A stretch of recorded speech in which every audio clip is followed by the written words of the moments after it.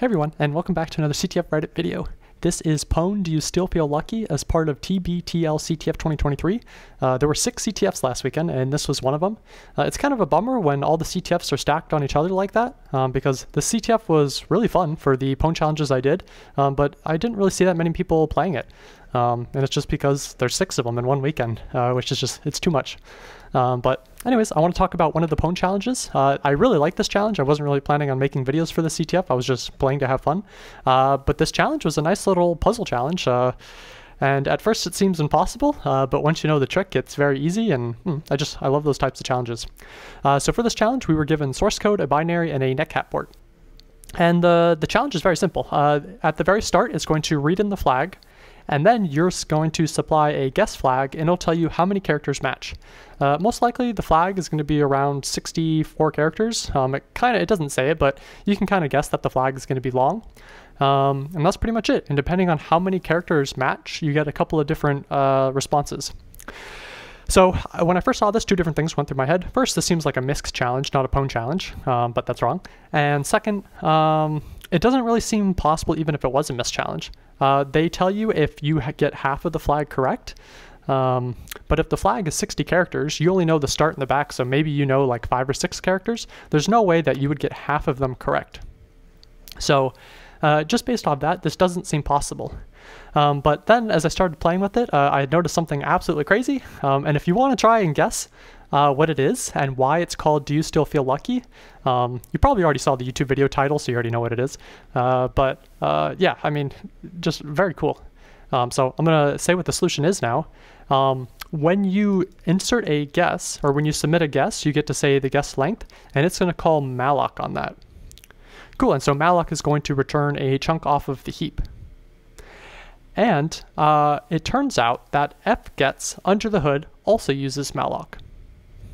So when the read flag command is called at the start of the program, it's going to do the fopen flag, do an fgets. It's going to create a malloc 64 byte buffer to read in the flag. It's then going to set the flag value to this global variable flag here, and then it's going to free that malloc chunk. So on the heap, there's a chunk that is freed that contains the flag.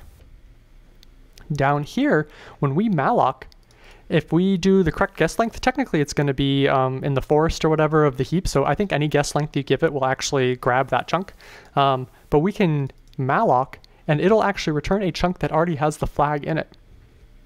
So when we guess, really we're just going to write up to uh, the very end of whatever our guess length is. So if we say like guess length of five, um, it'll compare uh, the five characters we give it, and then a new line or an end of line, uh, depending on what you supply to the program, and then the rest of the flag is going to match. So if you just run this binary, um, most of the time it says almost or getting there, uh, which doesn't make any sense even if you submit a very small flag, but that's because you're using the same chunk that already contained the flag. Um, and that's why the problem is called Do You Still Feel Lucky? Because you're just reusing that heap chunk that already has the flag. Um, and to kind of see what this looks like, uh, let's make this nice and big. I'm going to clear. So let's do GDB chow make this a little bit bigger. Um, let's break on puts and let's run. Cool, so the puts call is, the very first puts call is here. This happens after we've read in the flag. So uh, let me make this just a little bit smaller. Uh, it'd be nice to have registers. Hopefully this is visible. Um, if we do a VM map, oops, sorry, not a VM map, this heap, uh, we don't actually see anything on the heap right now. That's because the chunk has already been freed and it's actually down here in, as part of the top chunk. So instead, if we were to examine a string uh, just a little bit past this, so I'm going to say examine string plus 16, um, so it's really the next line, we just can't see it, uh, you'll see there's the flag. Um, this is the real flag. I just copied it over to a local flag file. Um, but that means it, it, exists there on the chunk. So then if we were going to, let's say, break on malloc, let's continue. Uh, it's gonna, oh, uh, let's delete the break on puts. Delete zero, delete one, continue. Uh, our guess of 64. Now we're in malloc. Let's finish malloc. Let's viz heap so we can see what heap chunk was just created that's gonna read in our flag guess. And we can see this is the new heap chunk right here. so when we call malloc, this is the chunk that's returned and it already has the flag for us. Um, which is crazy. So then uh, let's uh, break on free, I guess. Break on free. Um, and then let's continue. So now we're entering our guess of the flag. Let's just say flag guess.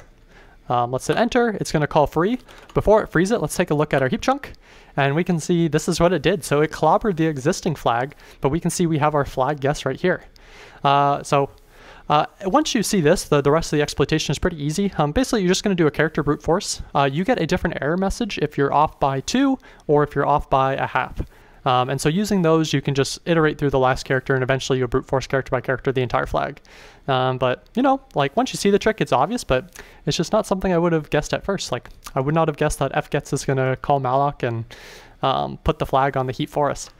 Um, so anyways, th this is the solve script. Uh, like I said, nothing too exciting. We're just going to connect remotely. We're going to give it a flag. And then from there, we're just going to iterate character by character. And depending on the error message we get back, um, there's two different error messages. There's one, it's almost if your flag is off by two characters.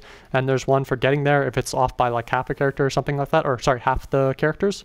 Um, just using those two error messages, you can figure out which character is the right character. And you just, like I said, you just brute force character by character. Um, so we can run it. Uh, remote is still live. So uh, we'll remote, run it on the remote server. Um, I'm not going to run it for too long, but we can see we're starting with TBTL, and then I freeze whenever I get a character that matches. So TBTL 5 is the first character. And once you brute force the entire flag, it says sometimes you do indeed get lucky.